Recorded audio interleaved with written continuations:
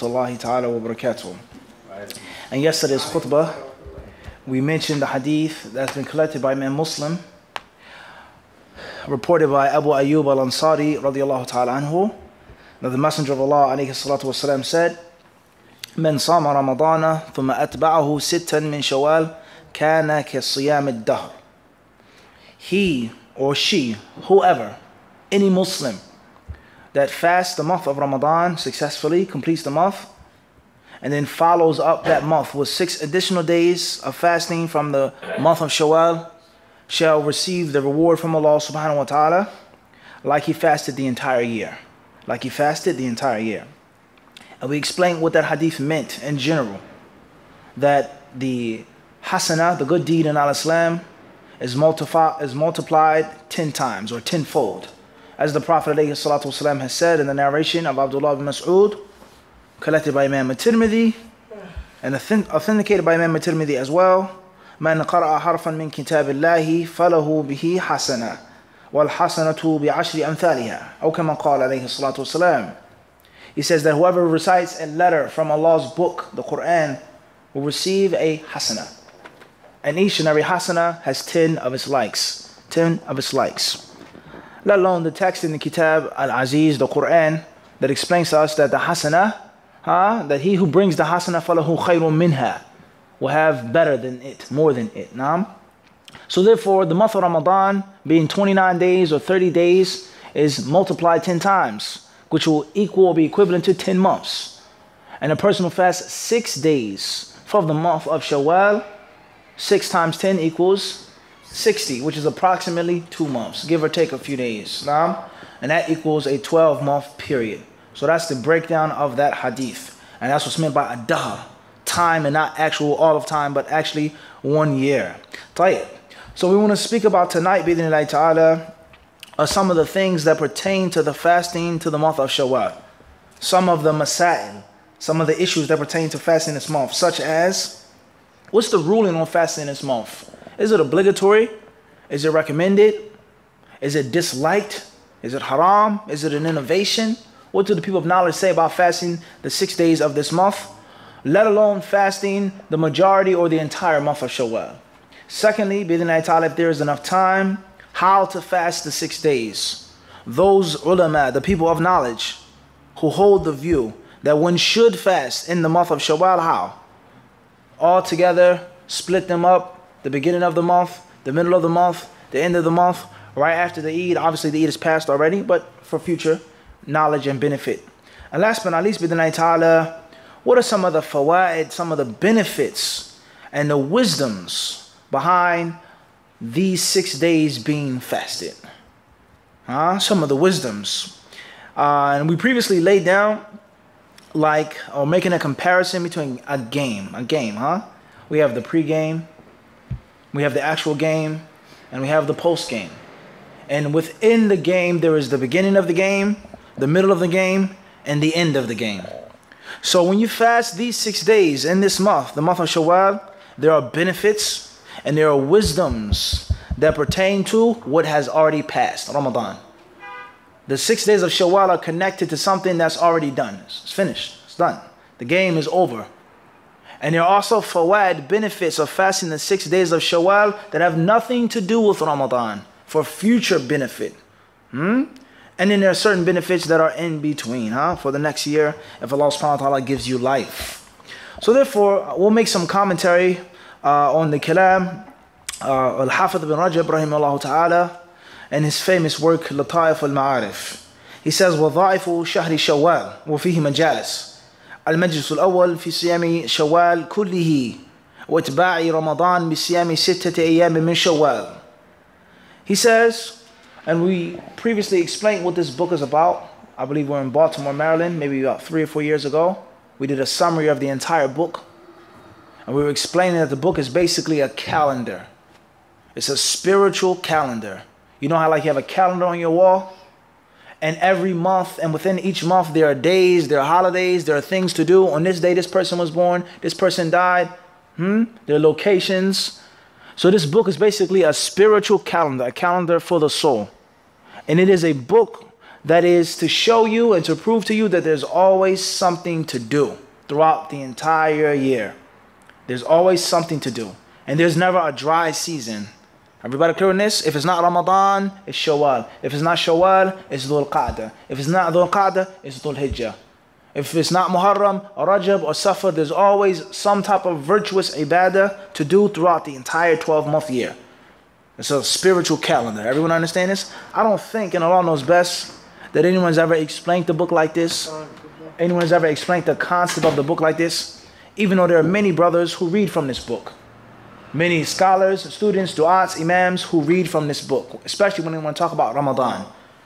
It's a common staple book. You'll find Lataif al-Ma'arif is the book that he's using for his speech in Ramadan. But I don't think anyone's ever explained it like this, what the concept of the book is. So the book is basically made to show you month after month what to do, what's mentioned in the authentic sunnah pertaining to virtuous actions, benefits, fawaid, and rulings. Everybody clear on this? We explained this on the channel a few years back. So um, he has the next section after the month of Ramadan is the month of Shawwal, wadha'if, literally meaning jobs, duties, things to do. Okay? And the first thing that he wishes to speak on is fasting the entire month of Shawwal. Fasting the entire month, not six days, but the entire month. You ever heard of that before, Brother Khan? No. The entire month, he says. And if not, or in, or at least fasting six days of Shawwal after Ramadan. Everybody clear on this? He says, خرج مسلم من حديث أبي أيوب الأنصاري رضي الله عنه عن النبي صلى الله عليه وسلم أنه قال من صام رمضان ثم أتبعه ست من شوال كان كصيام الدهر وقد اختلف في هذا الحديث ثم في العمل به فمنه من صححه ومنه من قال هو موقوف قاله ابن عيينة وغيره وإليه يميل الإمام أحمد ومنه من تكلم في إسناده. وأما العمل به فاستحب الصيام ستة أيام من شوال أكثر العلماء. وروي ذلك عن ابن عباس رضي الله عنهما وطاووس والشعبي وميمون بن مهران وهو قول ابن المبارك والشافعي وأحمد وإسحاق. وأنكر ذلك آخرون He says here that Imam Muslim has collected the narration that we previously mentioned to you, reported by Abu Ayyub al-Ansari, that the Prophet ﷺ is quoted to have said, Whoever fasts the month of Ramadan and follows it up with six additional days of Shawwal will receive the reward as if he fasted an entire year. He says that the scholars of Islam, they differ on this hadith. They have different views and different positions on this hadith. Okay, and what we're going to mention right now to avoid confusion is we're going to talk about the difference that they have on implementing this hadith. On implementing this hadith, all right? And all of our classes, especially those on our Lulu Marjan, we constantly give focus on understanding the hadith properly from the Arabic language and from the principles of fiqh, usul al fiqh, even for the layman, let alone the student, let alone the advanced student, and also what the people of knowledge have to say about this narration. No, Nawawi says, Shafi, Ahmed, Abu Hanifa, Abu Thawr, Dawood ibn Ali al-Zahiri, Fulan, etc. Huh? Very important to have the hadith and to understand it properly. He says, so there are many discrepancies about this hadith, many discrepancies. And from the discrepancies regarding this hadith is that which pertains to implementing it or not implementing it. Everybody clear on this? Scholars, they differ on how to understand and implement this hadith. He says, as far as acting upon this hadith, and as we just said, we've summarized kalam, or the, what Ibn Rajab said, we're not going to get into authenticity and those issues. We're going to avoid that confusion right now in this majlis. He says here, uh, most of the ulama of Islam hold the view that it is recommended to fast the six days of Shawwal. Most of them, and not all of them, but most of them. From those who had this view was Abdullah ibn Abbas, the, uh, the great scholar of the companions, and also his disciples. From them is Tawus ibn Kaysan. Uh, also from the Kibar Tabi'in, Sha'bi, rahimahullah ta'ala, from the great students of the Sahaba, Imam Sha'bi. Also Maymun ibn Mihran, and it was also the view of Abdullah ibn al-Mubarak. Obviously Ibn al-Mubarak came later on. Abdullah ibn al-Mubarak wasn't from the Tabi'in. He never met any of the Sahaba. And as a benefit for every single Muslim, let alone for an inspiring student of knowledge, or an advanced master of knowledge, you should always read the biography of Abdullah ibn al-Mubarak. He was one of the best of the best. And some of the scholars of hadith, they said about him, Jumi'at fihi al khair. They said he had everything. They say Abdullah ibn Mubarak had everything. He had knowledge, he was a warrior, he spent in Allah's cause, he was a zahid, he was a abid. Huh? They said that Allah gave him everything. Allah gave him all of the characteristics of good. He wasn't just a scholar, but he had a frail body or he was a, he didn't fight on the battlefield. No, he was a warrior. He fought, he studied, he taught, he traveled, he avoided the dunya, he avoided he avoided the rulers. He, he had all of the khisal al khair, huh? So read about Abdullah ibn al-Mubarak and you should also read about his father and what his father used to be and where his father came from and the dua that his father made and why he gave him the name that he gave him. Huh? Read about Abdullah ibn al-Mubarak. Very important story. Uh, as far as the uh, schools, the schools of thought, the well-known names, then there's Shafi'i, rahimahullah. Imam Shafi'i, he held the view that you should fast the six days of Shawwal. And also Imam Ahmad, rahimahullah ta'ala. Also, the teacher of Imam al-Bukhari and the friend of Imam Ahmad, Ishaq. Ishaq ibn Rahawayh, who was one of the most influential people on Imam al-Bukhari. Ishaq ibn Rahawayh was one of the people who influenced Imam al-Bukhari to write his book. There were other reasons why Bukhari wrote his book. But Imam Ishaq was one of the people who gave him the, huh, the energy, the battery in the back, and pushed him to write his book, huh? and he wrote his book afterwards. So those are the ulama who hold the view that fasting the sixth of the Shawwal are recommended. It's recommended. He then says, وَأَنْكَرَ ذَلِكَ آخَرُونَ However, there are others who say no. You shouldn't fast the six days of Shawwal. There are others. وروي عن الحسن أنه كان إذا ذكر عنده صيام هذه الستة قال لقد رضي الله بهذا الشهر للسنة كلها ولعله إنما أنكر على من اعتقد وجوب صيامها وأنه لا يكتفى بصيام رمضان عنها في الوجوب وظاهر كلامه يدل على هذا. وكرهها الثوري وأبو حنيفة وأبو يوسف وعلل أصحابهما ذلك بمشابهة أهل الكتاب يعنون في الزيادة في صيامهم المفروض عليهم ما ليس منه. وأما أكثر المتأخرين من مشايخهم قالوا لا بأس به He says, as far as uh, the scholars who held an, uh, an, opposite view or a contrast view, then from them is Al Hassan al Basri. And we all know what Hassan al Basri is. Hassan al Basri was from the Kibar Tabi'een as well. He was a major scholar, a major warrior, a major zahid, a major abid. It's someone that you should always read about. And Hassan al Basri ta'ala, was known for his wisdom. So much so that there are people who compiled books on Mawa'id al Hassan. They compiled books on the admonishments that he gave to his students and his friends. He was, huh? He was always giving them a mo'ivah. Hassan al-Basri was a great figure in Islamic history. Al-Hassan al-Basri, he said, or is narrated that he said, that Allah is pleased with the month of Ramadan. There's no need for any excess. There's no need for anything extra outside of the month of Ramadan. Now, uh, the author here, Ibn Rajab, he interprets his kalam. And he says Hassan al-Basri didn't really mean that it's disliked to fast the month, the six days of Shawwal. But Hassan al-Basri's speech means to reject those who say that you have to do it, that you have to do the six. And that's why he said that Ramadan, Allah is pleased with it. That's enough. Yani, for that which is mandatory. Now just stop here and look at this wisdom. Let's take an example of Salat al-Taraweeh. We know that Salat al-Taraweeh is not obligatory. It isn't obligatory. It's a recommended thing to do regardless whether you pray in congregation or whether you pray in your home in congregation or in your home by yourself. Al Muhim. Those who do it have the option. The Prophet ﷺ, he prayed a few nights with the companions and then it was left off for a long time until the time of Umar anhu and Ubay ibn Ka'b and they came together and they prayed all together in unison and Umar radiallahu anhu said what a great bid'ah this is meaning what a good huh, revival of a previous sunnah this is. So people today, if you don't make Taraweeh, or if you don't make Taraweeh in a specific masjid, many people, they'll look down upon you. Or they may say negative things about you or think negatively. Everybody understand this? That's very similar to this issue. So if a brother says, I'm not fasting in six days of Shawwal, automatically somebody would do what? They'll think negative of him. And that's what Hassan al-Basri what? Meant. Not meaning that you shouldn't do it and you can't do it. But what he meant was, is that there isn't anything extra after the month of Ramadan that's obligatory. and which a person is censured and looked down upon therefore. Everybody clear on this? Having the narrations of the pious predecessors is only half of the battle. Understanding them and interpreting them properly in light of the text of Kitab and Sunnah is even more important. If there are hadiths that are interpreted a certain way and understood in a certain light, let alone the statement of Hassan al-Basri, let alone the statement of Imam Ahmed, and we always mention this, huh Khalid?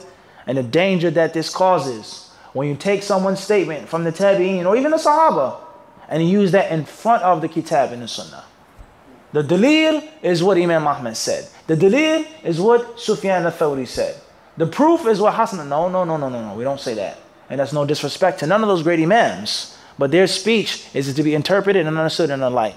And if there's no interpretation and no light, then we say that's the, that's the statement of that companion or that tabi. And the hadith is clear and sound from the kitab and from the sunnah.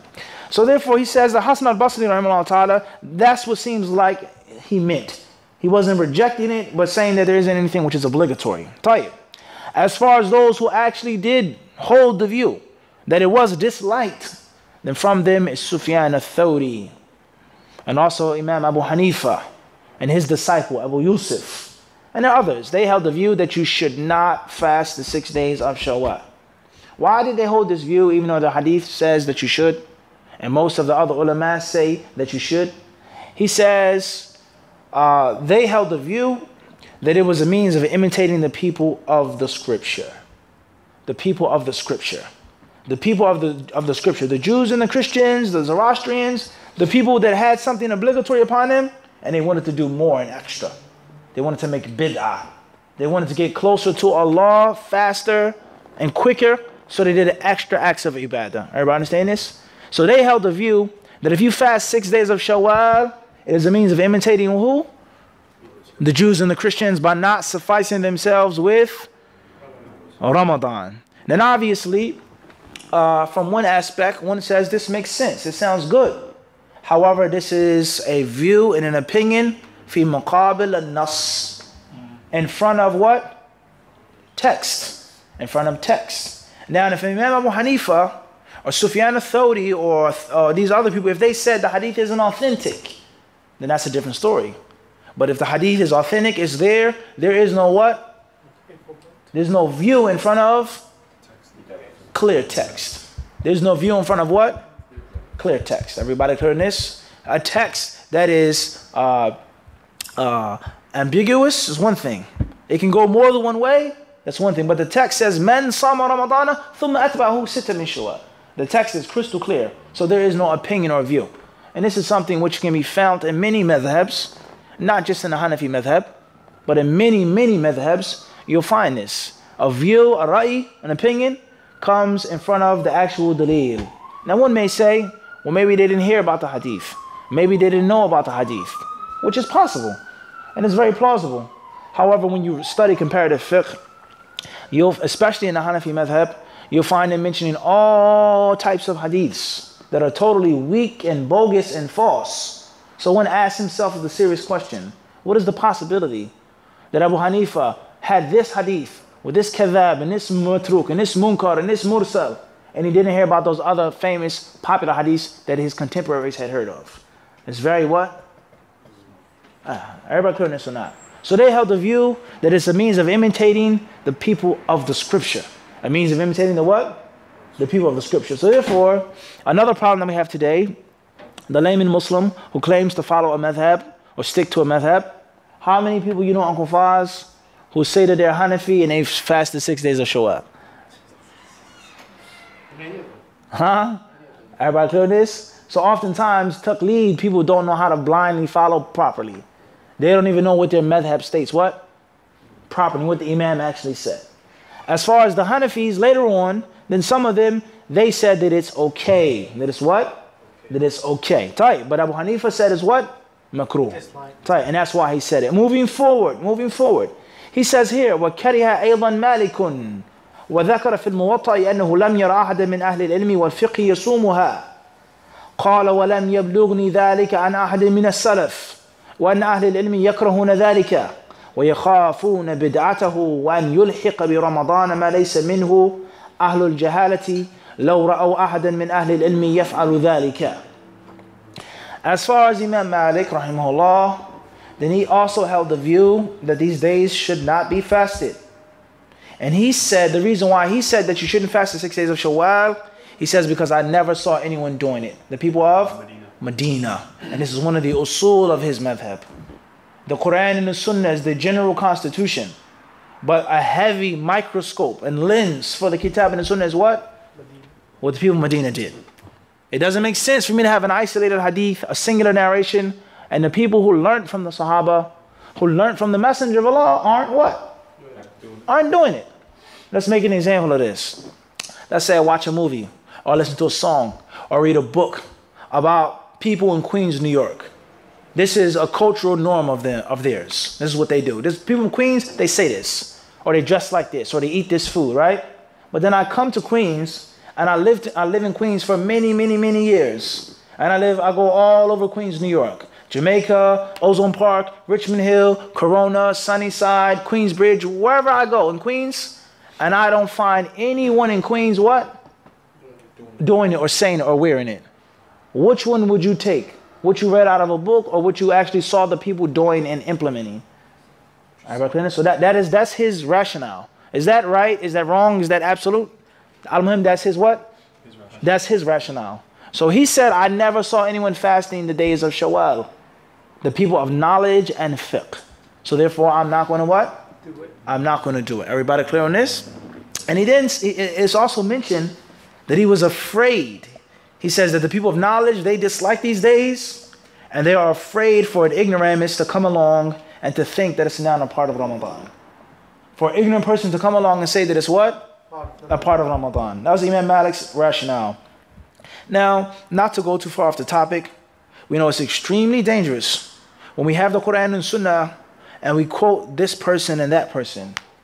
It's very dangerous. And oftentimes, people who do this, they don't realize what a responsibility it is. What a responsibility, what? It truly is now. Because the hadith is in Sahih Muslim, you consider it to be an authentic book. Most of the ulama hold the view that you should do it. Imam Ahmed held the view that what? You should fast those days. Imam Malik, he's basing his view off of the who? Who are also called the who? The Salaf. So a person says, I'm not you can't take that hadith, that's not the understanding of the Salaf. You can't take this because that's not the understanding of the of the Salaf.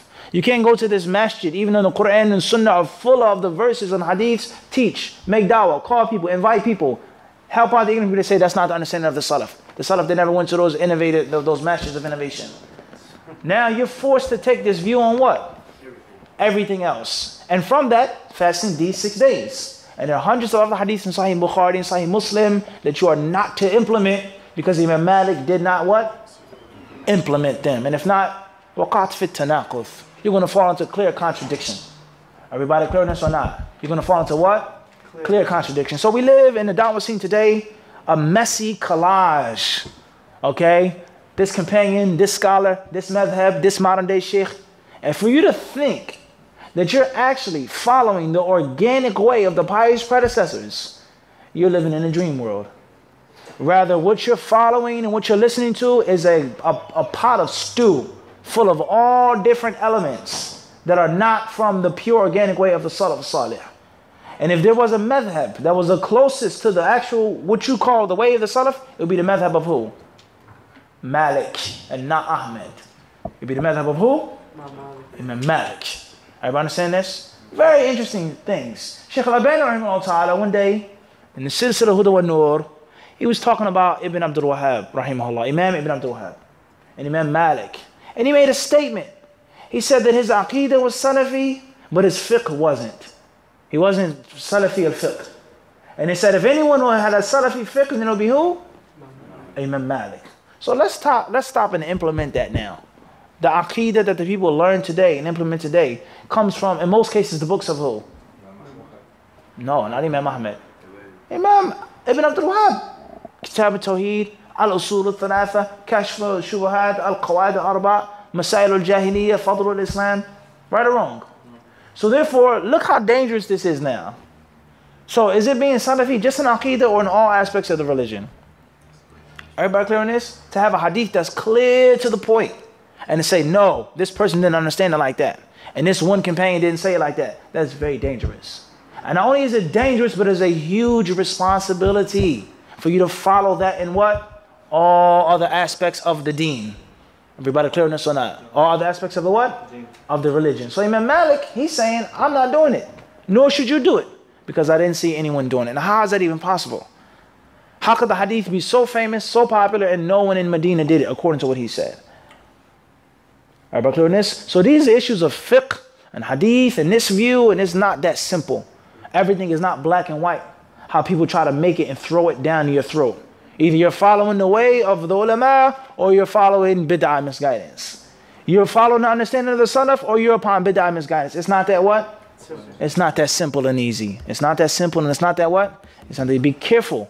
And the only thing that we want from mentioning these things is not to cause confusion, but for to, to spread the message of pump the brakes, yahi. We're not saying that you have to slow down 100%, but at least do what? Slow down a little bit.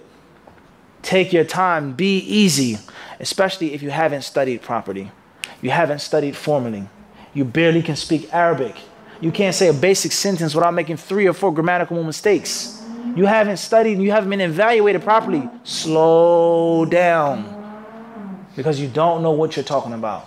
And if you're actually digging into these books, digging in the middle of them and reading and studying what the of the past said and did, you will find it like night and day of your fiqh, even much of your aqidah. Night and day. When you read the athar of the Salaf al-Salih and the Sahaba and what they said about this issue and about this view and about this tafsir. So just relax, yaqi. Take it easy on yourself first and foremost, and take it easy on the people. Everybody understand this? And if you have a view or opinion, that's fine, but don't force it upon the rest of the people. Don't force it upon the people. Don't be aggressive and extreme. Don't be a zealot on a view in which you could be mistaken. And in most cases, what? You are mistaken. And the proof is what we read from these simple books, let alone if we actually went into what? The dungeon and went and dig through the books and, and, and brought out the statements of the people of knowledge of the past. So Imam Malik, he says, no one in Medina did it. And I'm afraid that people would think that it's obligatory, etc. So therefore, in brief, we have two views on the ulama. The view that seems to be most correct is that these days should be fasted. That's the view of most of the ulama. Most of the ulama, I say that you should what? Fast. Khair inshallah. Question is, this is a brief question. Did all of the companions remain in Medina, Abdul Qawi? They did what after the Prophet's death? They went to other places, whether it was Egypt, whether it was Iran, Iraq, North Africa, whatever the case. Egypt is a part of Africa, but I'm talking about like, you know, Andalus, Spain, etc. Everybody clear this or not? So is it possible for a companion to have heard something from the Prophet and saw something from the Prophet and didn't leave in Medina? It's very possible. So therefore, that rationale cannot be what? Absolute. Because all of the Salaf Salih did not stay in Medina.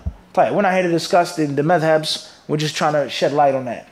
He then says, rahimahullah, وأما الذين استحبوا صيامها فاختلفوا في صفة صيامها على ثلاثة أقوال. As far as those who say that you should fast those days, then there are three main ways or three different ways of looking at how one should fast them.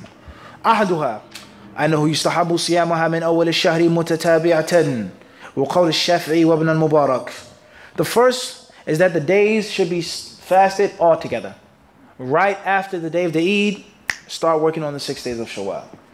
So based off of that view, one could have done what by now? Fasted all of them.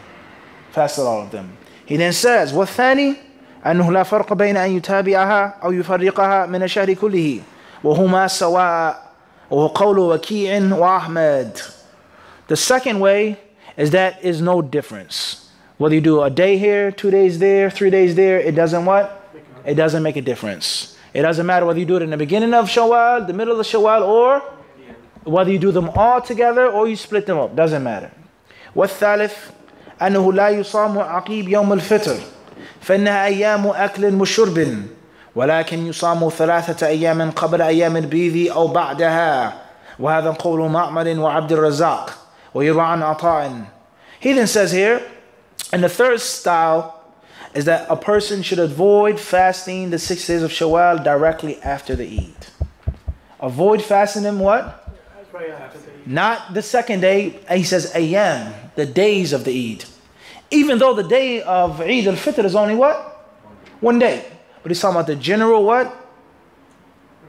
The general time, the festive time. You're still visiting your family.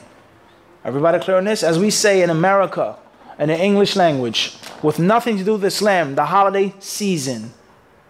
The holiday what? Season. Thanksgiving was Thursday. It's Saturday, Sunday, Monday. It's still the what time? It's still the time. Everybody understand? Even though Thanksgiving had passed already. I don't have to go to work yet. I'm still visiting my family. We're still eating, so on and so forth. Everybody clear on this? Then you go back to work. Huh? Go back to work with extra turkey or what? Turkey sandwich? Huh? Everybody understand the point I'm trying to get to? The day in which the, the, the Eid in which there is, is multiple days is Eid of what? Adha. Eid Adha. How many days? Eid Adha. Three or four? Some say four, some say three, What do you say? three. Four days. Al-Muhim, we can agree that it's what? More than One. one day. Eid al-Fitr is only one day. So what he's saying is ayam of the Eid is the what? The general festive time. Your brother comes from down south, from Canada, from across the water, overseas. They're still visiting you. Everybody clear, everybody clear this? And people are still celebrating the what? Eid. The Eid, the Eid spirit. So it says, do not start after the uh, Yom al-Fitr, uh, after Eid al-Fitr. Everybody clear this or not? And they say that one should do uh, before the white days. The white days. What are the white days? Or the white nights? We explained this in our comprehensive workshop on fasting in Ramadan, Khalid. 15, the middle of the month. Is it a day or a white? Is it a day or a night? What's my ayam al bid or layal al bid? Which one? White day or white night? Night. Nights. No, So you fast at nighttime? no, but the the the the, the day starts with the night, Sheikh. When Tahiyyah. Al Muhim is that when it's a full moon at night, in the daytime you were fasting. So from one aspect, the actual the, the thing is the white day. But from another aspect, it's the white night. Because there's no full moon in the in the daytime. Clear on this? Tayyib. Barakallahu fikum. So there are three ways. Everybody clear on this or not? There are what? Three ways. Tayyib. Moving forward. The next thing the author he speaks on fasting the entire month of Shawwal, which we're going to skip right now, and perhaps we'll come back to that. He mentions here وفي معاودة الصيام بعد رمضان فوائد عديدة. He says, what are the benefits now of fasting after Ramadan? Khalas, we fasted an entire month. I'm tired. I'm thirsty. I've lo- I lost enough weight. I miss my wife's cooking enough. Right? He says there are many benefits in what? Fasting. Fasting after Ramadan. Many benefits.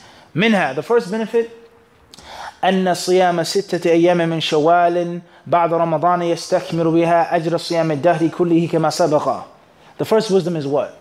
What's the first wisdom? It's not first wisdom. You learn for patience. Not the first wisdom. It's the first wisdom. Carry over that momentum. Okay, nah, that's not the first wisdom. Uh, if you're playing baseball, those the, uh, the the the lead batter, what's his job Abdul Qawi? To do what? Hit a home run? To get on base. What's the first base he needs to get on first? first. Base. Maybe he gets the second, but at least what? First base. So when you're studying, you get on first base first. And first base is what? The first wisdom is what? The first wisdom is what? Okay. The first wisdom is the sunnah. Good. But more specifically, no question. That's getting on first base. That's the sunnah. That's just like that. If you obey him, then you will what? Be guided. And Muhammad's way is a good example for those who want Allah in the last day. Tight, clear. But specifically, the first the first wisdom is what? Is that a person will get the reward of A whole year. fasting an entire year. That's the first faida. Like if you think about double, triple, home run, grand slam, get on first base first. Even if you get hit with a pitch, or you get walked, or you have to hit a bunt, is your job is to do what? Then you worry about stealing and an RBI. Clear on this? No. طيب, moving forward. Number two, he says, ومنها أن صيام شوال وشعبان كالصلاة السنن الرواتب قبل الصلاة المفروضة وبعدها فيكمل بذلك ما حصل في الفرد من خلل ونقص. فإن الفرائض تكمل بالنوافل يوم القيامة كما إلى آخر كلامه He says the next faida, the next wisdom is that when you make fast in Sha'ban before Ramadan and fast in Shawwal after Ramadan, it is just like the what? The nafil prayers, the sunnah prayers that you do before the prayer and and the purpose of those prayers are to do what? Is to patch up, patchwork. Tranquility. That's right. You, you were thinking about something, you were scratching, you were fiddling, you prayed, you were rushing. Can you say that your five daily prayers are done perfectly? A person can say, inshallah, a Muslim who's learnt and who's striving, he can say, I, be, I believe that my, my five daily prayers are at least fundamentally solid. He can say that. That I believe that they're what? Fundamental. fundamentally so I can say that, inshallah ta'ala. But are they perfect? It's hard to say. So therefore, what you do before and after is a means of what? Perfecting those defects and those blemishes that are found in your prayer. Huh? As it's mentioned in the hadith about the day of judgment, the first thing that will be looked towards from a slave's actions is his what? His prayer. And if there's a deficiency or something lacking in his prayer, what will be done? The nafila. Everybody understand this? It's very important, like extra credit. Like what? Extra credit. So let's say you took an exam and you barely passed the exam, you got a 59. But you chose to do what? extra credit. The teacher says anyone who wishes to do what? Extra credit. And you got a, you, the extra credit question was easy. Or you knew it. Or you weren't nervous. You really studied and you got the extra credit question good. So therefore the extra credit is worth 20 points. Everybody clear on this? Now you've passed the exam. But if you didn't do the extra credit, you would have got a 59. That would have been what? Kalas. Everybody clear on this? So this is the next wisdom of fasting in the month of Shawwal. Is to cover up the mistakes and the flaws, the false speech, just like zakat al-fitr, like we explained. Number three, ومنها أن معاودة الصيام بعد الصيام رمضان علامة على قبول صوم رمضان. فإن الله تعالى إذا تقبل عمل عبد وفقه لعمل صالح بعده. كما قال بعضهم ثواب الحسنة الحسنة بعدها. فمن عمل حسنة ثم أتبعها بحسنة بعدها كان ذلك علامة على قبول الحسنة الأولى كما أن من عمل حسنة ثم أتبعها بسيئة كان ذلك علامة رد الحسنة وعدم قبولها والعياذ بالله. The third faida Khalid he says it's a sign that the month of Ramadan was accepted from you.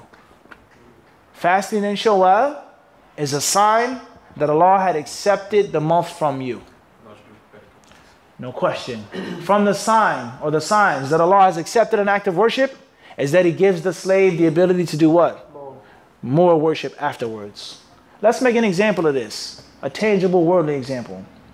You do business with me, right? The business is good, everything's well. What's the sign that I enjoy doing business with you? Or I really profited and I did well? What's the sign of that? Good transaction. Something more specific. Take care of it. I call you again and I want to do what? Business with you again. Everybody clear on this? I gave you a deal and an opportunity. And the proof that you did a good job is that I give you a what? Again. Another opportunity. Like a, const- uh, a contractor. This house that you did for me, you did a great job. You did a what? Great job. So the proof that I'm pleased with what you did for me is that I give you a what? Another house. And a third and a fourth and a fifth. Clear on this? And the proof that I didn't enjoy my business with you. Or it was okay, but it was mediocre. It was, you know, mashi hali. It was okay. Is that I don't do what? I don't call you back for another job. Everybody clear on this? Can we agree on this or not? Is that I don't what? I don't call you again. Either you did a bad job or it was what? Yani, nothing special. I'm not going to go out my way and bring you to do another of my houses. But he did a superb job from start to finish. There's no doubt. Expect another what? They say, what? We'll call you what? You don't call us. That's not the same as I'm going to call you. You going for the interview, he says, what? Expect my call Monday morning. Everybody clear on this or not? So he says, from the signs that your Ramadan was accepted is that you fast and Shawwal. Now, how many Muslims say this? May Allah accept your Ramadan. May Allah accept your fast. That's what everybody wants. But how many of us fasted six days? Tell moving on, and that's a major faida. That faida right there is sufficient You can close the book. That's that's more than enough right there. He says, because when you do a good deed and it's accepted, the sign is that Allah allows you to. Second. Just like doing a bad deed after the good deed is a sign what? That the first one wasn't accepted. وَلِيَذُ بِاللَّهِ ومنها أن صيام رمضان يوجب مغفرة ما تقدم من الذنوب كما سبق ذكره وأن الصائمين لرمضان يوفون أجورهم في يوم الفطر وهو يوم الجوائز فيكون معاودة الصيام بعد الفطر شكرا لهذه النعمة فلا نعمة أعظم من مغفرة الذنوب He says the next benefit of the Qawi is that fasting the month of Ramadan is a means of forgiveness of your sins. من صام رمضان إيمانا واحتسابا غفر له ما تقدم من ذنبه. He who fasts the month of Ramadan and he does it because he believes in it and he hopes for the reward from Allah Azza wa he will, he will receive what? Forgiveness of his sins. And it also, he says here, moving forward, and that those who fast will receive their rewards in full on the day of judgment, the day of, uh, in this life and in thereafter. And he says, during the day of the Eid, Yom al the day of prizes. So he says, when a person fasts, after he previously fasts, it is a thankfulness to Allah for that blessing. And there isn't a blessing that's greater than your sins being forgiven. That's the greatest blessing. So fasting days of Shawwal is like paying a what? A tip. Like paying a what? A tip. You paid for the food, but the service was really good, so you give a what? Gratuity. You thank. I appreciate how you served us. Even though the waitress was doing nothing but her what? The waiter was doing nothing but his what? That's his job. His job is to take care of the customers who come into the restaurant. But they did a good job. They brought the food, they brought the soup first before the main course meal. They brought the drinks, it was good. They gave you extra, they took care of you. So you give them a, a tip to show them that you appreciate them. Everybody clear on this? Because there's nothing better than what in a restaurant? No? Good service. There's nothing better than what? Good service. How many restaurants you go in and the food is delicious, but the service what? Terrible. Horrible. You're not going to go back to that what? No matter how good the food is. They make fun of you or they try to charge you a tip extra. and Impose their weight on you, huh? We have stories like this, nah? Tayyib. What's important is, is that he says it's thanking Allah for the blessing of your sins, inshallah, being forgiven. So giving extra service to Allah subhanahu wa ta'ala. Because there isn't a blessing which is bigger or greater than your sins being what? Forgiven. Allah forgives you for your acts of disobedience. And Allah loves you when you repent for your disrespect to Him, the bounty of Allah is just endless. Huh? Allah gives you a reward for you doing what you're supposed to be doing. It's tremendous. Tayyib. Um, uh, those are the uh, end. Uh, that, that's the end of the fawaid that he's mentioned. There's a, a, longer discussion. He talks about many, many things, and the most important thing that he concludes the chapter with is Toba and repenting from one's sins and cleaning one's slate. Huh? So that's the end of what I wanted to mention here tonight. We ask Allah Azza to allow us to implement this and to accept it from us all and to bless uh, your month and to accept your month and to bless and to accept the six days of fasting that you choose to do. And Allah subhanahu wa ta'ala surely knows best. Walhamdulillahi Rabbil Alameen. I believe maybe time for a few questions if there if there is any time. And if not, Jazakumullah khairan. I got a question. Fadal. Yeah. There is hadith, like, you know, there is nothing better than fasting every other day. Okay. Since you say six days, and if you're saying Shawwal, fast the whole month is better, if somebody can do it. So is it, can I, the other Imam, I asked him, so he said, mm, we should not overtake what about Prophet Muhammad Sallallahu Alaihi Wasallam, say fast every other day. Nobody should fast every day. Okay. It's gonna be too much. Tayyib. So is it gonna affect anything in between, like, if I fast the whole month of Shawwal? Crystal clear. Following month? Crystal clear. Question is regarding fasting every day and regarding fasting every other day. Regarding going against or doing more than what the Prophet ﷺ legislated, etc. Is it okay to fast the whole month of Shawwal, the whole month of Shaban, etc.? To keep things simple, we have general rules and we have specific rules. The general rule is that you should never fast all of the time. Siyam al-Dahr, in which every single day you're fasting.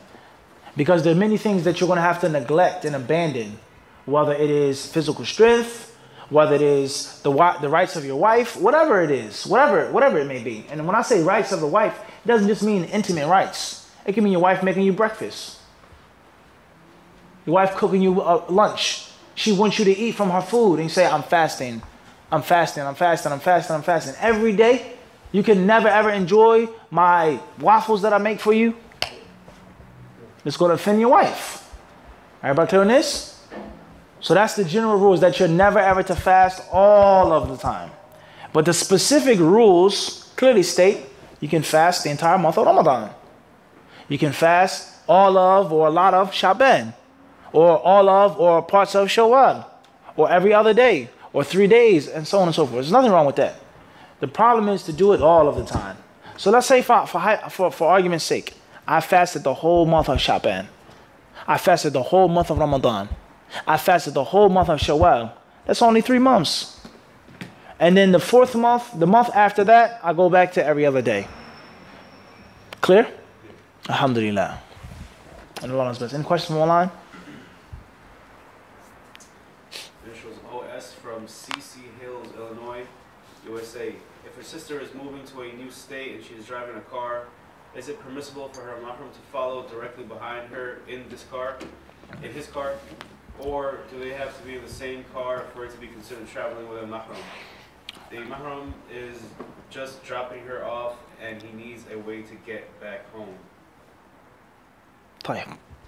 Question says, coming from Illinois, is it permissible for a woman to travel with her mahram in another car behind her, regardless of the reason, etc.?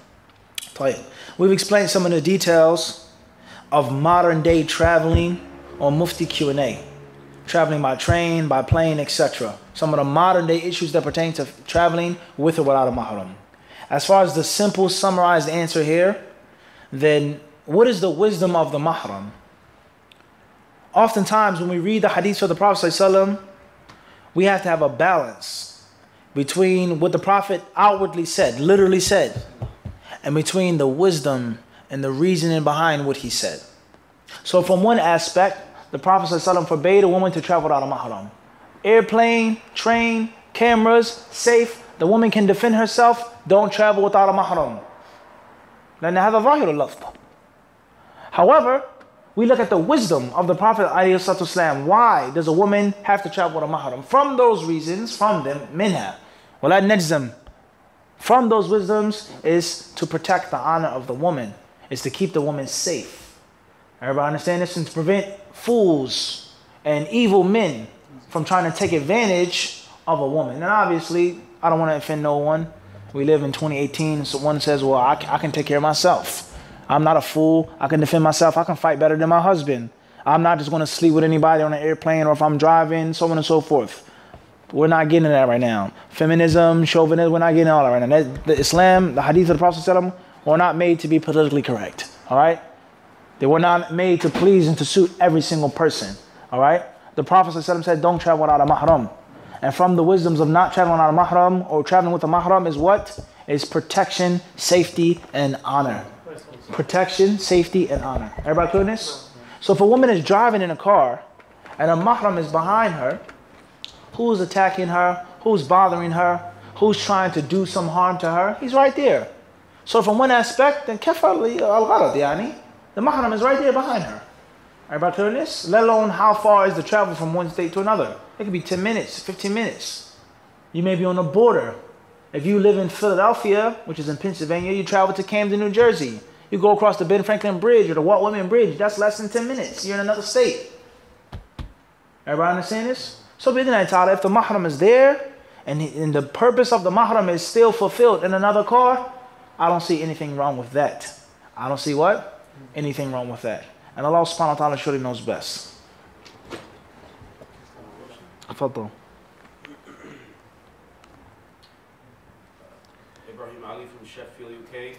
How do we reconcile between the hadith of the Prophet prohibiting drinking standing up and him doing it? Question says, coming from the UK, how do we reconcile between the hadith of the Prophet ﷺ prohibiting standing up and him himself doing it? There are many ways of harmonizing between these types of hadiths, many ways. From them is to say, that it's haram to drink standing up unless there is a need or a necessity. A need or a necessity. In which there's a crowd of people around, you don't have the ability to sit down, you need the water, la bas. Another way is to say that it's not haram, but it's just disliked. Khilaf al-awla. You shouldn't do it, but it's not haram. So the hadiths that say don't drink standing up, if you drink standing up, then spit up. Would you like shaitan to drink with you? Would you like this person to drink with you standing up? Meaning, you shouldn't do it. And the hadith in which the Prophet, he drank standing up, proving that you can do it. Okay? There are different ways of harmonizing between this. And the ulama of Islam, they differ on the actual ruling. Bidnai ta'ala, perhaps those who say that it is haram to drink standing up, but permissible to do it if there is a need or difficulty, perhaps that is a strong view. Perhaps that's a what? A strong view. As Shaykh al-Islam ibn Taymiyyah has explained in detail. And Allah knows best. This last one, inshallah. Initials KA from Manchester, UK. I ask Allah to preserve you, Sheikh, and accept the good from you. Could you speak on, the, on, on your schedule in Medina as a student in more details than what you had previously mentioned? طيب Jazakallah khairan. May Allah bless you and all the brothers and sisters in the United Kingdom. Bidnai ta'ala, let's try to make another video in which we can give a bit more detail uh, with regards to daily life schedule in the Prophet's city. Obviously, we can't mention that now. Uh, we can't give you no more details than what we previously gave in that video. So hopefully we can make another video and we, we can give you more Bidnai ta'ala. Inshallah. Inshallah. Jazakallah khair. خلاص وصلى الله وسلم وبارك على عبده ورسوله نبينا وإمامنا محمد